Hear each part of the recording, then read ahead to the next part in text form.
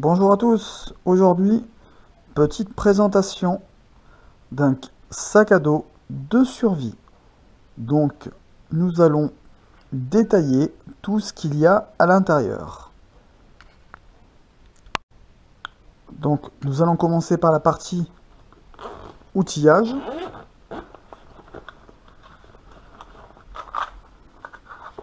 Donc petit tournevis couteau, clé à toute taille.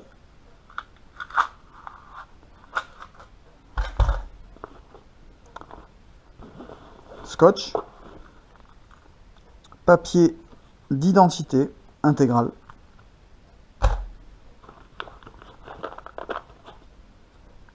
Rouleau de scotch, ça peut servir. Petit outillage avec euh, tous les embouts disponibles en principe hein, en général. Petite pince qui peut servir de pince à retirer des échardes ou des aiguilles. Nous avons une pochette étanche pour mettre en principe un téléphone portable ou des clés ou tout autre appareil électronique. Nous avons un fumigène, celui-ci est couleur violet, donc c'est un EG25 microsmoke. Voilà. Donc là, la, fumée monte à des... Ça peut monter jusqu'à une centaine de mètres. Et pendant environ 20 à 30 secondes, ça dégage de la fumée. C'est bien pour être vu. Des gants en latex.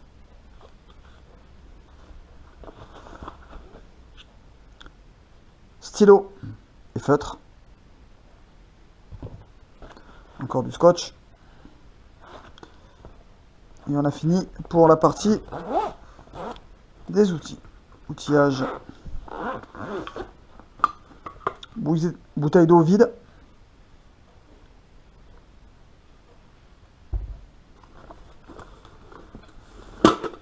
Une gamelle pour deux personnes. Une poignée ainsi que deux assiettes. Vachement pratique. Très pratique. on la remet là. Donc on va passer à la partie un peu plus sérieuse, la partie médicale. Et la partie notamment survie. Un casque anti-bruit, c'est tout bête mais ça peut servir. Une bouteille vide. Pour désinfecter les plaies. Un ciseau à pansement. Une petite boîte avec notamment des, bandages, des compresses. Et des sacs avec zip, des sacs de congélation. C'est bien pratique si vous voulez ranger ou si vous avez trouvé des trucs.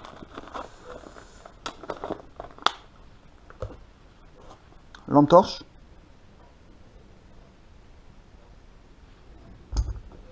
Bien sûr, papier toilette. Après, si vous êtes dans la forêt, vous n'en aurez pas besoin. Une petite arme de défense. Catégorie D, c'est le HDP 50. Voilà. Prêt à l'utilisation avec la cartouche CO2 à l'intérieur, les billes, plus celles qui sont dans la réserve, et la clé de démontage.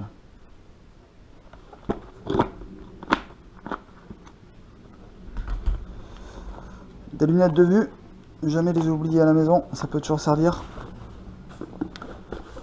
Une deuxième trousse, la pharmacie complète, avec tout ce qui est antidouleur, antibiotiques, thermomètre, tout pour le ventre. On a une couverture chauffante, on a des gants encore, voilà, voici la couverture chauffante. Elle est assez complète, donc c'est très très important d'avoir au moins tous les médicaments à portée de main. Voilà, autant pour les enfants que pour les adultes. Donc vous avez du bain de bouche, vous avez du collyre, très très important. Traitement pour le rhume. Et beaucoup, n'hésitez pas à prendre beaucoup de compresses gaz, ainsi que des bandages et du désinfectant. Ensuite, on va terminer par une petite boîte de survie Donc ça, c'est une bougie chauffante. Donc vous pouvez vous chauffer les mains avec, sans vous brûler. Hein. Et bien sûr, faire de la lumière en même temps. Lunettes de protection, ça peut toujours servir. Le minimum, j'ai bien dit le minimum, pour pêcher. Pour se nourrir. Couvert en bois, donc euh, fourchette, couteau, cuillère. Deux petits entonnoirs. Cutter.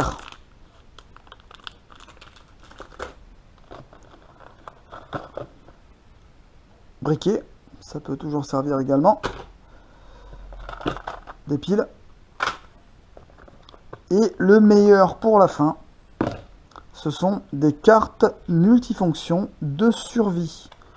Donc là, vous avez la carte Ninja de survie avec tous les accessoires. Donc là, par exemple, c'est pour démonter les écrous. Un écrou de 4, un écrou de 10, 12, 8 et 4. Le premier, c'est 6, pardon. Là, vous avez un ouvre-boîte qui fait également tournevis avec plein de fonctionnalités. Donc, nous allons passer à celui-ci, à cette carte-là. Cette carte-là est un couteau. Donc, vous défaites la sécurité, vous inversez directement comme ça. Vous le mettez comme ça. Et vous le verrouillez comme ceci. Par contre, c'est très très coupant. Hein. c'est comme de la céramique. Donc c'est bien pratique tout ça. Quand vous êtes en mode survie dans la forêt ou autre part. Ensuite, nous avons la dernière carte de survie en inox. Elle est magnifique.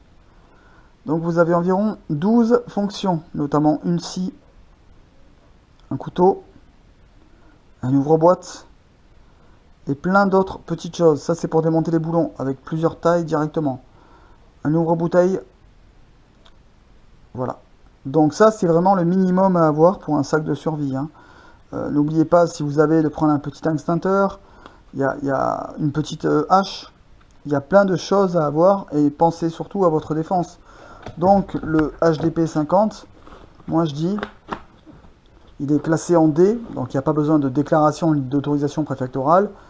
Euh, il fait 11 joules avec des sorties de calibre 50 à 130 mètres par seconde. Ça fait environ du 500 km heure. C'est pas mal, voilà.